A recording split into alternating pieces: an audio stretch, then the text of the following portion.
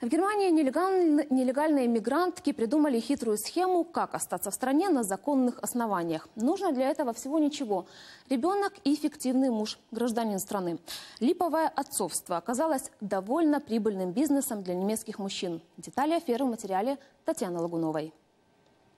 Остаться в Германии любым путем немецкая полиция разоблачила мошенническую схему, которая позволяет женщинам из других стран обмануть миграционные службы и легализировать свое пребывание в Германии. А мужчинам с немецким паспортом неплохо на этом заработать. Схема проста и банальна. Женщины на ранних сроках беременности приезжают по туристическим визам в Германию. На месте находят немцев, которые за деньги соглашаются фиктивно признать отцовство. И все. Женщина получает право остаться в Германии Германии новорожденный немецкое гражданство. А фиктивный отец немалые деньги за признание отцовства. В среднем папам платят 5000 евро.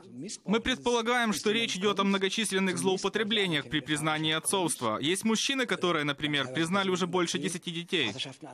По данным немецкой полиции, только в Берлине в последние месяцы были зарегистрированы более 700 таких случаев, а по всей стране в разы больше. Чаще всего схемой пользуются женщины женщины из Вьетнама, стран Африки и Восточной Европы. Отцовство продают безработные, которые получают социальную помощь. То есть по закону они не обязаны затем содержать детей. Все расходы берет на себя государство.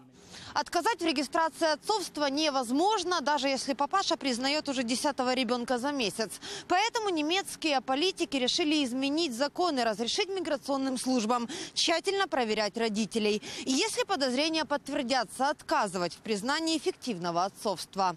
Татьяна Лагунова, Геннадий Никеенко. Подробности немецкое бюро телеканала «Интер».